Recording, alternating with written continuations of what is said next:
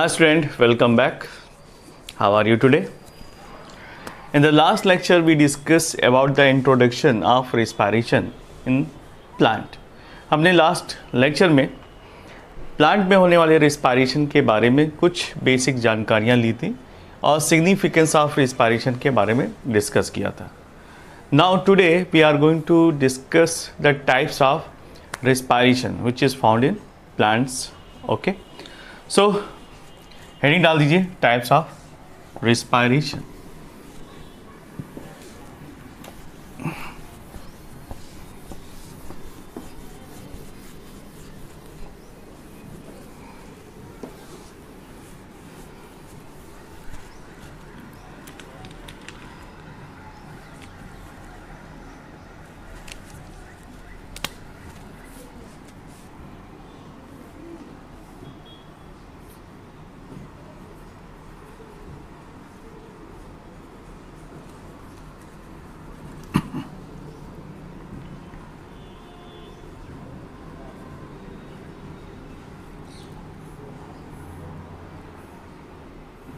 Types of respiration respiration on the basis of kind of respiratory substrate it can be divided into two types ये depend करता है कि substrate क्या है तो सबस्ट्रेट के हिसाब से हमने रेस्पायरेशन को दो हिस्सों में डिवाइड कर रखा है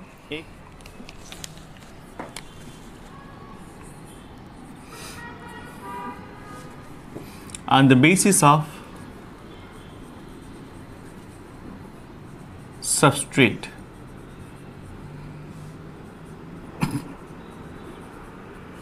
it is basically of two types first one is a floating respiration and second one is protoplasmic respiration what is floating respiration it is normal respiration where general respiratory substrate and stored food is oxidized for example starch protein etc इसको हम कहते हैं floating respiration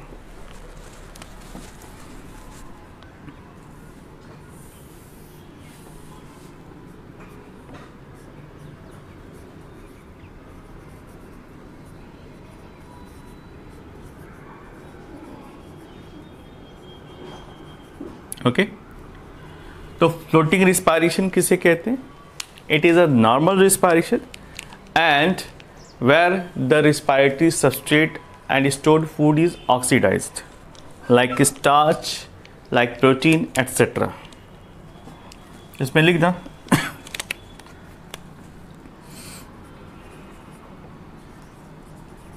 normal respiration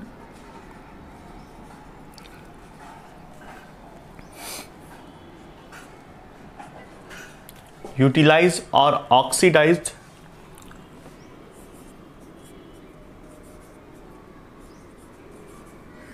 general. General. Respiratory.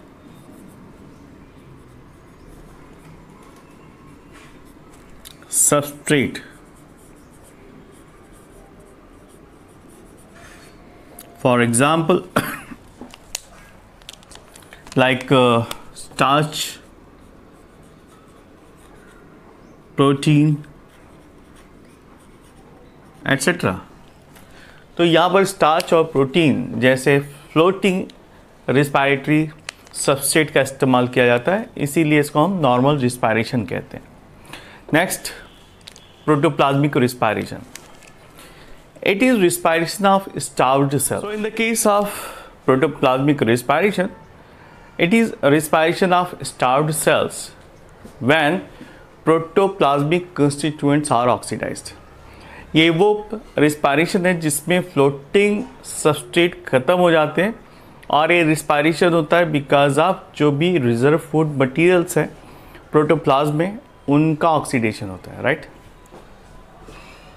Heading डाल दीजिए। Protoplasmic respiration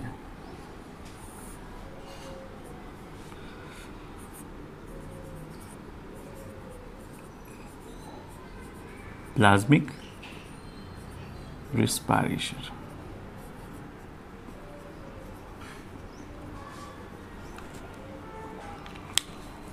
It's my first point. It is found in the protoplasmic. it is takes place in the protoplasm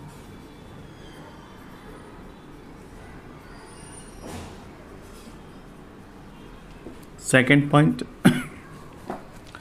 Uh, here protoplasmic constituent oxidize. Plasmic. Constituent. Oxidized. All right so that is the difference between floating, respiration and protoplasmic respiration. तो यहाँ पर starch और protein utilise होता है। यहाँ पर जो protoplasmic constituents होते हैं, जो भी रिज़र्व फ़ूड मटेरियल्स हैं, उनको इस्तेमाल किया जाता है। राइट तो इसी को हम कहते हैं protoplasmic respiration so on the availability of oxygen अगर हम ऑक्सीजन की बात करें on the basis of availability of oxygen the respiration can be divide into further two types aerobic and anaerobic aerobic जिसमें ऑक्सीजन इज़ रिक्वायर्ड और anaerobic जहाँ पर oxygen की रिक्वायरमेंट नहीं होती। तो नेक्स्ट हेडिंग डाल दीजिए। On the basis of availability of oxygen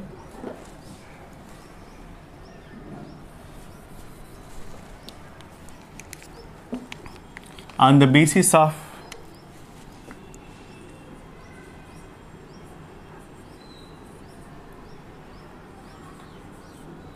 of oxygen. Respire it can be divided into following style.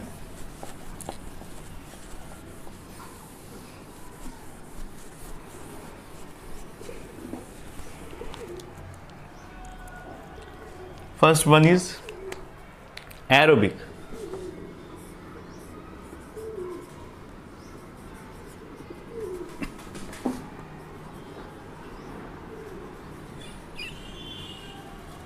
on the basis of availability the respiration is further divided into two types aerobic and anaerobic aerobic respiration में complete oxidation होता है food material का and it is because of using of oxygen and when entire carbon released as a carbon dioxide और यहाँ पर जो पूरा का पूरा कार्बन है, वो कार्बन डाइऑक्साइड के फॉर्म में रिलीज़ हो जाता है। इसी को हम कहते हैं एरोबिक रिस्पायरेशन तो इसमें लिख लीजिए complete oxidation complete oxidation of substrate second important point all carbon जितने भी कार्बन हैं फ़ूड में, वो सभी कार्बन डाइऑक्साइड के फॉर्म में कन्वर्ट हो जाते हैं। Entire carbon convert converted into carbon dioxide right next important point and in this process maximum energy releases इसको, इस फॉर्म में लिखते हैं। This is food stuff C six H twelve O six जिसको हम ग्लूकोज कहते हैं। So in the presence of O two plus H two O it converted into पूरा का पूरा जो कार्बन है कन्वर्ट हो जाता है कार्बन डाइऑक्साइड में। प्लस वाटर ठीक है?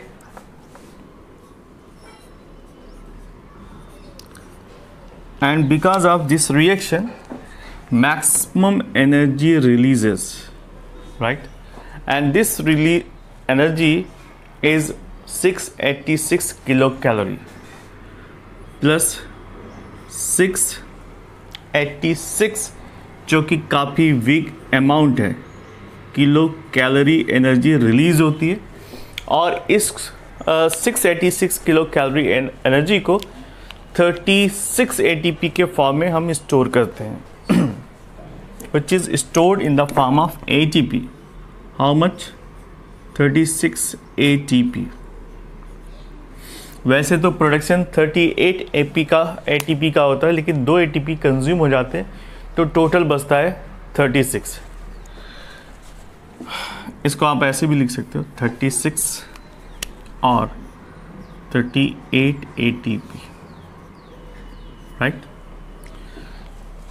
क्लियर तो this is the aerobic respiration.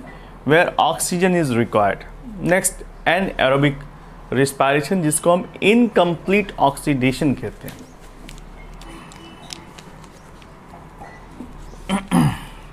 इसमें लिखिएगा। Incomplete oxidation second important point इस एनोरबिक रिस्पायरेशन की ये कि जो फ़ूड है, वो ऑक्सीडाइज होता है in the form of alcohol और ऑर्गेनिक एसिड और यहाँ पर ऑक्सीजन का बिल्कुल यूज़ नहीं हो रहा है। So entire carbon either converted into alcohol और ऑर्गेनिक एसिड ठीक है? तो लिख लीजिए। Food is oxidize into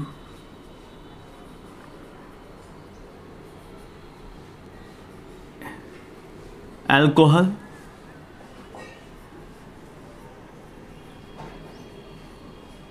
or organic acids.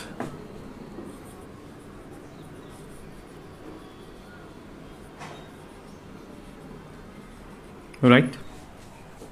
Next point. It occurs into the cytoplasm. Okay. That is why most of the energy is lost ठीक है?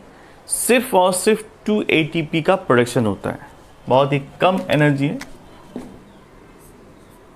Only two A T P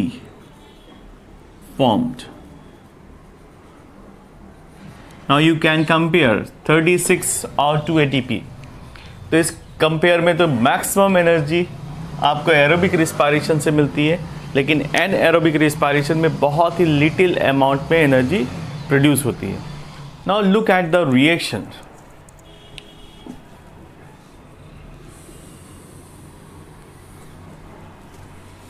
glucose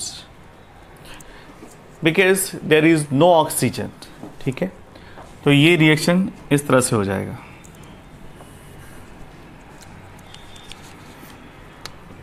C six H twelve O six finally converted into alcohol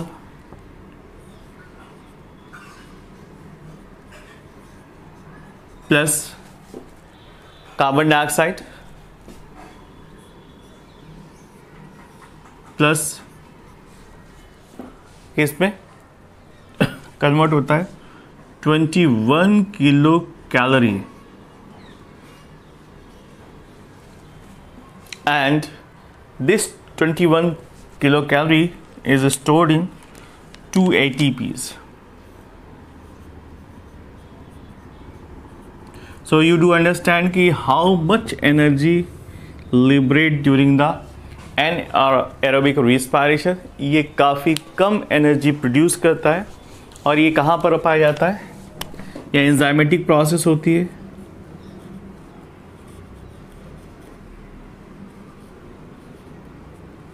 process in cytoplasm enzyme जो पाए जाते हैं enzymes which is found in the cytoplasm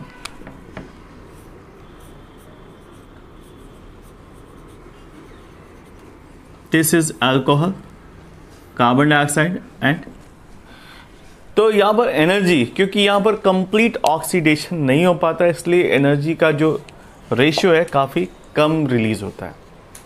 All right now look at the uh, anaerobic respiration. Now let's see कि anaerobic respiration कहाँ पाए जाते हैं। और पहले इसको किसने रिपोर्ट किया?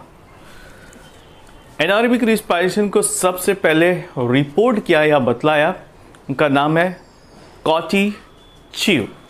साइंटिस्ट का नाम है। And anaerobic respiration may takes place in the bacteria बहुत सारे एनारबिक बैक्टीरिया पाए जाते हैं। Some lower parasitic animals like ascaris taenia solium कुछ प्लांट्स ह्यूमन बॉडी में और दूसरे प्लांट एनिमल बॉडी में पाए जाने वाले RBCs muscles of human body muscles में भी पाया जाता है। And when oxygen is not available then, so anaerobic respiration was firstly reported by Kotzi Chew. Kotzi Chew is the name of scientist ये लिख लीजिए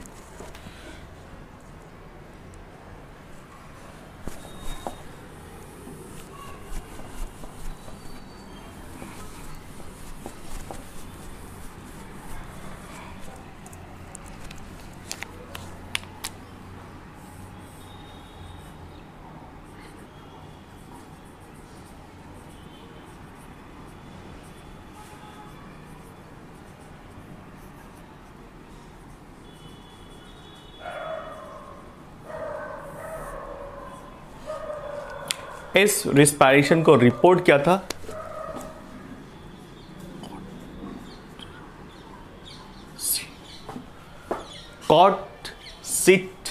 Kostychev. Complicated name.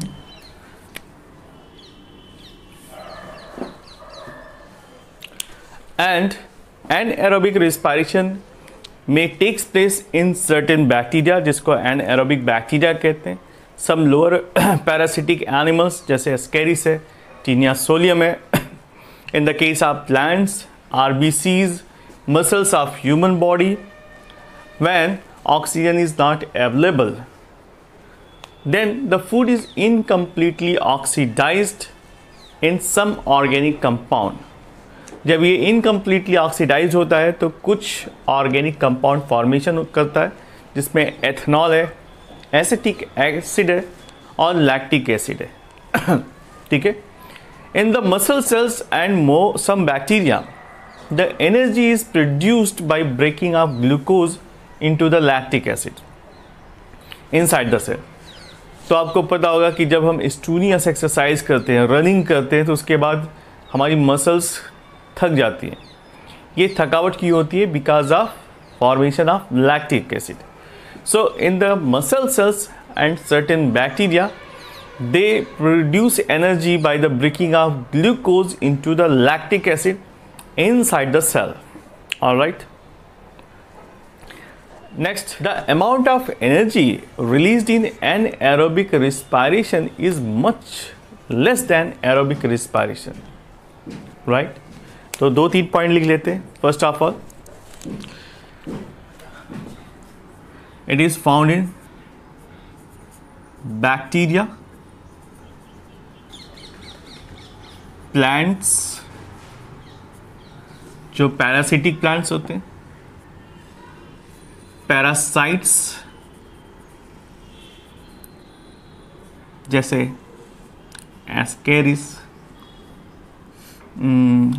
tapeworm etcetera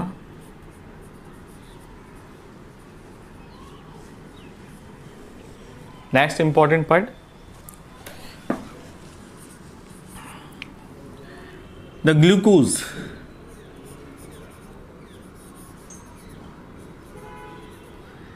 incompletely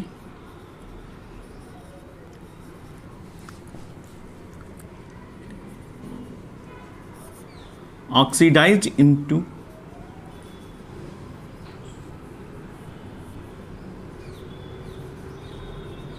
oxidized into the organic compound into the organic acids organic organic acids like इसमें से जैसे कि सबसे popular है ethanol that is ethanol plus पैरबिक acid lactic acid acetic acid lactic acid acetic acid etcetera तो glucose convert हो जाता है एथेनॉल में लैक्टिक एसिड या फिर एसिटिक एसिड में?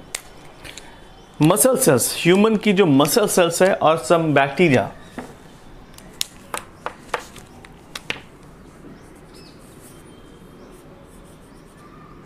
human muscle cells and certain bacteria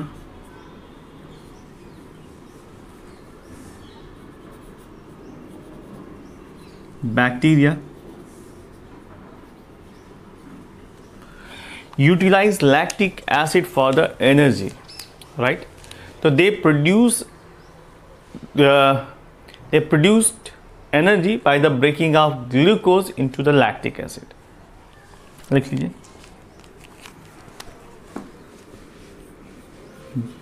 they produce energy by the breaking of breaking of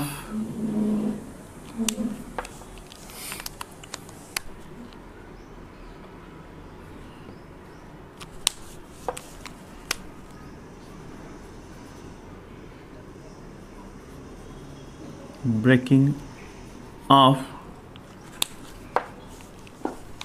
glucose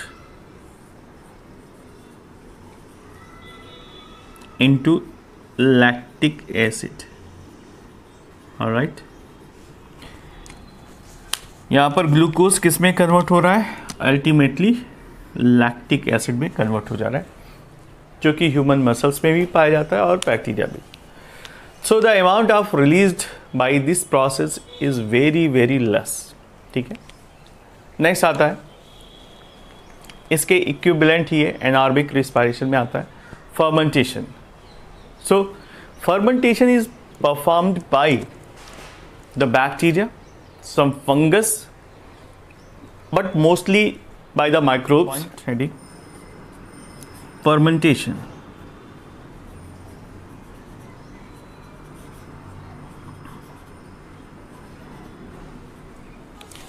fermentation is the process which is carried out by the certain bacteria and fungus ठीक है तो mostly fungus और कुछ bacteria के through ये process perform होती है। But the noticeable point is that it is not a intracellular process but it is a extracellular process by which two A T P are produced इसको हम कहते हैं फर्मेंटेशन प्रोसेस तो ये लिख लीजिए, काफ़ी इंपॉर्टेंट पॉइंट है right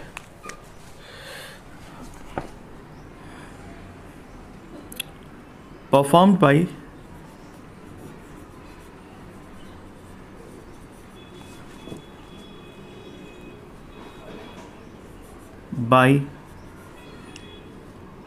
fungus and some bacteria.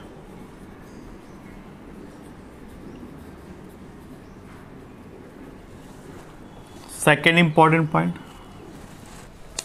it is an extracellular process.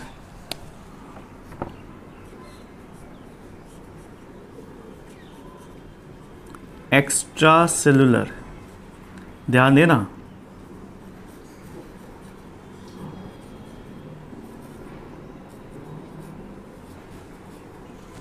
इसीलिए मैंने रेड में लिख दिया, ध्यान रखना। ये एक्स्ट्रा सेलुलर प्रोसेस से ये फंगस के अंदर या बैक्टीरिया के अंदर नहीं पाया जाता सबस्टेट यहाँ पर बाहर अवेलेबल होते हैं, इसलिए इसको हम एक्स्ट्रा सेलुलर प्रोसेस कहते हैं। और just like other anaerobic respiration 2 ATP produced.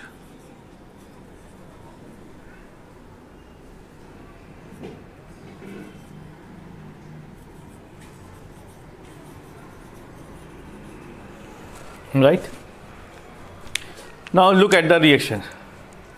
अब एक reaction लिख लेते हैं द रिएक्शन इज़ सेम जैसा कि हमने एनार्बिक रिस्पारेशन का लिखा था बट यहाँ पर फंगस का इस्तेमाल हो रहा है फर्मेंटेशन में ठीक है।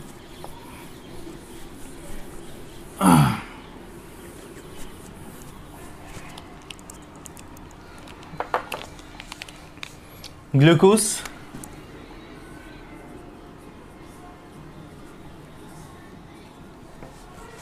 convert into the alcohol. Plus alcohol plus carbon dioxide. और हीट एनर्जी रिलीज़ होती है। ठीक है? और during this process the whole procedure is done by yeast जो कि फंगस है, ठीक है? और बाय द बैक्टीरिया राइट और हीट के फॉर्म में जो एनर्जी निकलती है, उसकी टोटल वैल्यू होती है टू ए पी तो this is all about the process of fermentation इसको हम फर्मेंटेशन कहेंगे.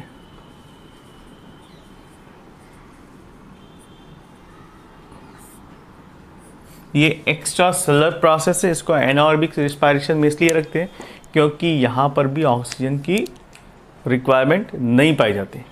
Both anaerobic respiration and fermentation are incomplete oxidation right So, the inhibitory effect on respiration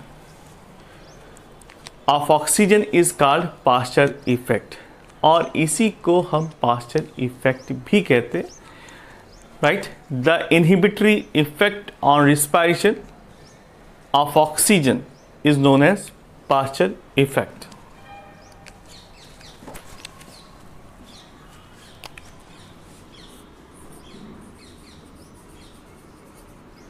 Pasteur effect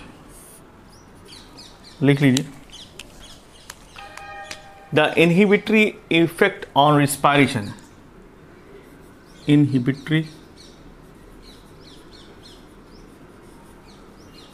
Effect on respiration.